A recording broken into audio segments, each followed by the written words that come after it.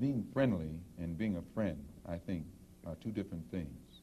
I think there are many whites who act friendly toward Negroes. A fox acts, acts friendly toward the lamb. Mm-hmm. And usually the fox is the one who ends up with the lamb chop on his plate. Mm-hmm. The wolf doesn't act friendly, and therefore the wolf has more difficulty in getting the lamb chop in his plate.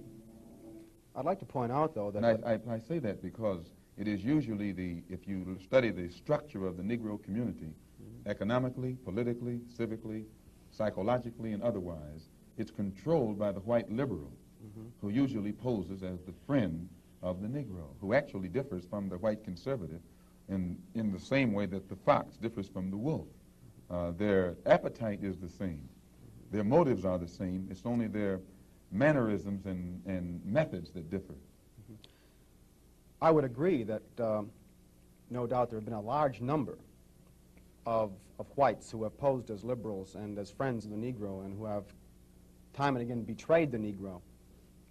Uh, on the other hand, I think one could point to a large number of whites uh, who have struggled for civil rights, for equality, and have got little or nothing out of it, uh, other than uh, quite a few bruises. Give me an example. Well, the, the large number of, of white uh, students who have gone into the South, for example, working for SNCC and other organizations. Not working for SNCC or other organizations, but working for the white uh, political machines who benefit by the voting uh, efforts of Negroes. Okay.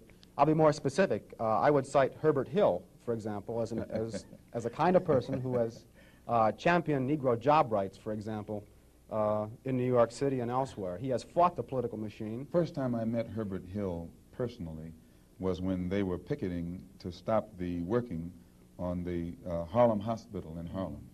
Negroes for 10 years had to fight the city to get uh, an annex built on the Harlem Hospital. Because in Harlem, we need a hospital more so than anything else. Our people are sick. Plus, we do a lot of cutting and shooting of each other, though we profess to be nonviolent. And uh, Herbert Hill brought his forces out and stopped the working on that site.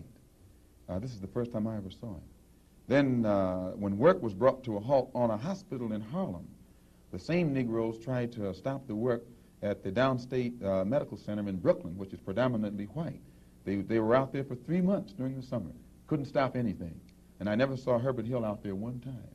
Now, whenever something, whenever it takes uh, a stoppage of something that's going to affect the white man, you find the white liberal absent. But it, when it uh, involves something that primarily will affect the best interests of black people and black people only, then that white liberal is present.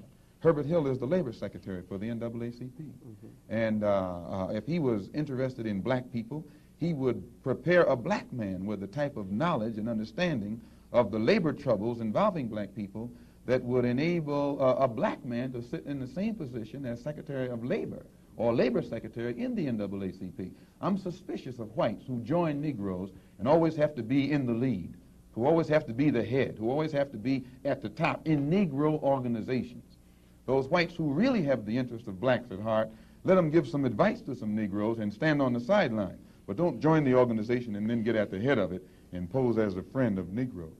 Well, I, I would uh, defend his sincerity and his commitment.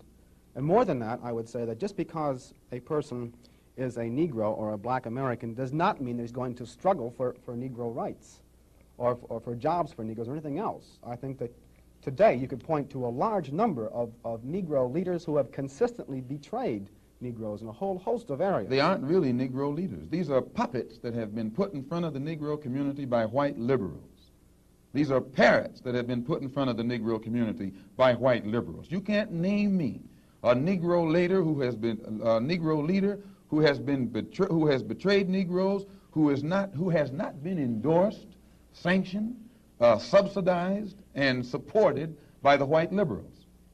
Minister Malcolm, I'd like to... Well, I could cite one example would be Congressman Dawson, for example, in Chicago. And In, in Chicago, a large number of liberals located in the Hyde Park district have consistently fought Dawson and his betrayals of the Negro, and they've also fought some of the people who represent Dawson on the Chicago City Council. The only Negro I know who is constantly fought, only Negro politician that I know who is constantly fought by white liberals is Adam Clayton Powell. And they call him a racist because he speaks so bluntly on the race issue. Uh, but I'm not, as I said, not too familiar with Dawson and his work.